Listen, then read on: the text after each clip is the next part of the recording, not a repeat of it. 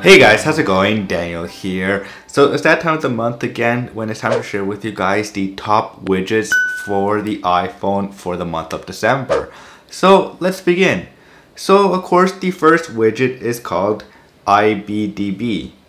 So IMDb is an awesome, of course, site where you could check out movie reviews, um, check out a lot of movie information about the movies, actors, all that stuff but how I've been using their widget is pretty awesome. So they have two types of widgets in this app. So they have the top news section. So right there they talk about like, you know, news about in the movie world. Um, so like uh, when Christopher Nolan, of course, attacked HBO and Warner Brothers, of course. Um, uh, news about Marvel movies that are dropping uh, that that Disney talked about earlier this week. Um, and also my other favorite widget from uh, this app is the fan favorites. So what a lot of people are watching kind of currently right now, um, what's really popular right now in the movie world and what other people are really watching at this time. And so yeah, it's just really awesome. It's just a nice way just to get informed, of course, of what's happening um, in the entertainment business because there's so much stuff going on. And of course, seeing what other people really, what other movies to watch, maybe recommendations. Because uh, sometimes uh, I'm on Netflix and I don't know what to watch. And so I just go on here and see what other people watched. And maybe if it's on Netflix, I'll check it out. Next, we have Ermine. I hope I'm pronouncing that uh, this widget properly, Ermine. So Ermine is a calendar app.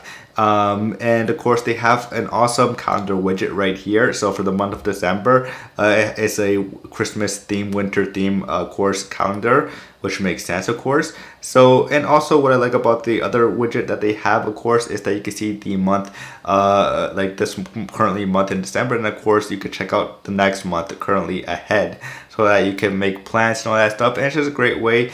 And of course it just you know, if you want to have theme inspired uh, calendar, then this is the widget for you because it is awesome. And every month the uh, the calendar artwork changes automatically to match the month uh, as well. Next we have Castro. So finally after months of waiting, finally my favorite podcast app uh, has a widget um, so of course the widget is pretty simple. Of course, you get to see what what podcast is up next. So as you can see, I'm I'm like it's ready and ready to be listened to this podcast right here. And it's just super simple. It's just you get to see what uh, podcasts are up next, and that's pretty much it. And of course, you can control it from here just by tapping on the widget. It will open, of course, the app so that you could go and uh, automatically play the app as well.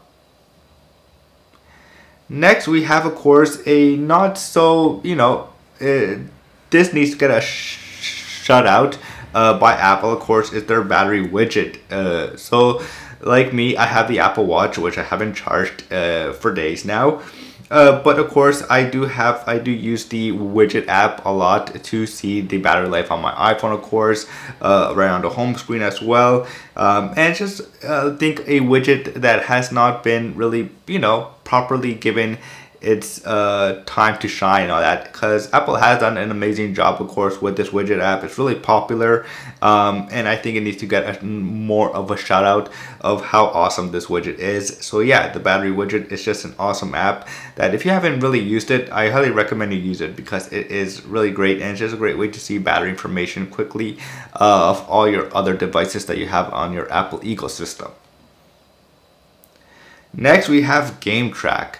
So Game Track, recently, of course, if you have seen, I've been streaming a lot now. Um, been playing a lot of video games, well, mostly only Call of Duty uh, Black Ops Cold War. Um, and of course, I'm using Game Track to track my experience and my time on gaming. So of course, as you can see, I've been playing a lot of Call of Duty, like more than like 10 hours and all that stuff uh, since I bought it.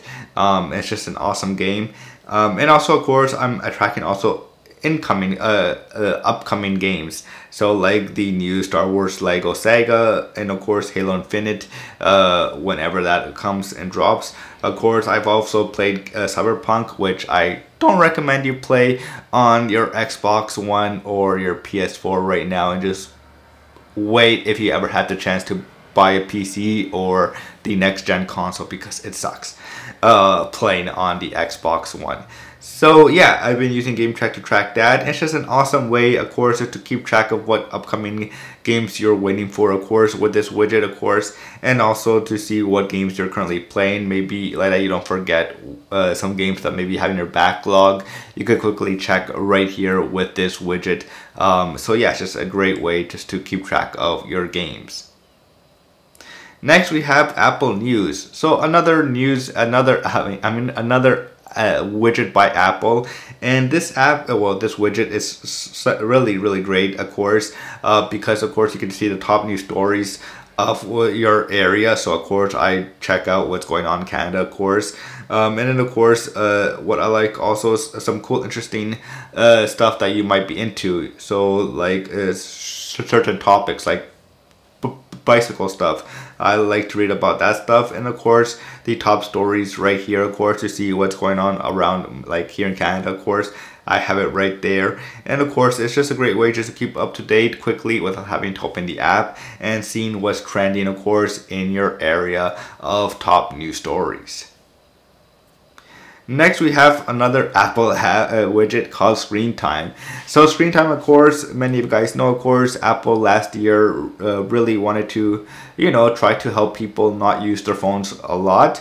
And they released this feature where you can track your screen time, of course, um, without having to download a third-party app. So of course in screen time of course it's just a great widget to have. Um, I have it on my home screen of course this app just to track how much hours I've actually spent maybe throughout the day on uh, the phone of course. So as you can see I've spent you know pretty much two hours uh, today. Um, so you know, I don't know if that's good or bad.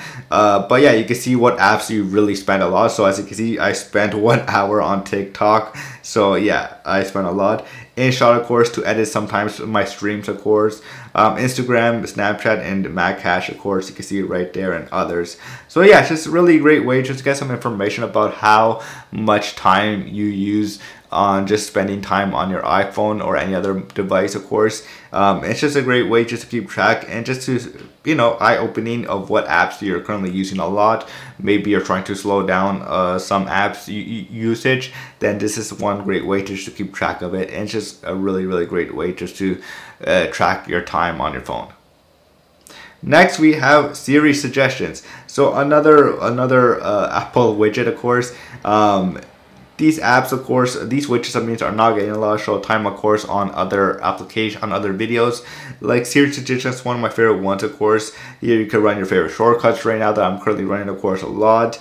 You get to launch quickly photo apps uh, or other applications, other quick messaging as well. Siri suggestions on the top, of course, to see the top apps you're currently using the most at a certain time. So yeah, I've used Siri suggestions pretty much every single day whenever I drop down, of course. Um, I use it a lot just to open apps. Maybe in the morning, I always, it knows already, in the morning I use Maccash. So Maccash is already there for me, ready to open. Um, at night, I usually open TikTok or just at certain times. It just knows already what type of apps I want to open up at certain times of the day. So that's why I really, really am happy with Siri suggestions of how long, how far it has come. Um, and so yeah, really happy with it. Next, we have Spotify. So Spotify recently released their new widget, of course, um, not, too long ago, of course. And here, of course, you get to see the top songs or your top playlists, your top uh, albums. You get to see quickly of what you're currently listening to, of course. And then if you want, you can just click on the song and it will start automatically opening the app and play the song for you. Next, we have, of course, and not least, we have Things. So Things is an awesome to-do app that I have been using for a very long time. And of course, I really use their widget every single day to check out some cool topics that I have for um, uh, some cool YouTube video ideas so as you can see right there and of course an extra little widget for this the top 10 but it'll be top 11 is sticker cards. So sticker cards of course many of you guys know i did a video about this app is where you can quickly save uh, twitter tweets um, on cards and then you can share them on instagram stories or other social network sites that you like um, as well. So yeah it just shows you the random uh, uh, tweets that you have saved throughout the time of using the app uh, every time you just you know you could quickly just uh, see what uh, tweets you have saved and just a great way just to look back at 2020 of course and see how interesting it has been this year. So yeah, those are the top 10 or top 11 uh, widgets for the month of December. I hope you guys enjoyed this video as much as I did. If you guys did enjoy this video, please don't forget to subscribe to the channel because that does help. And, you know, it'll help to get to that goal of, you know, uh, 10,000 uh, subscribers. So as always, I will see you guys later. Peace.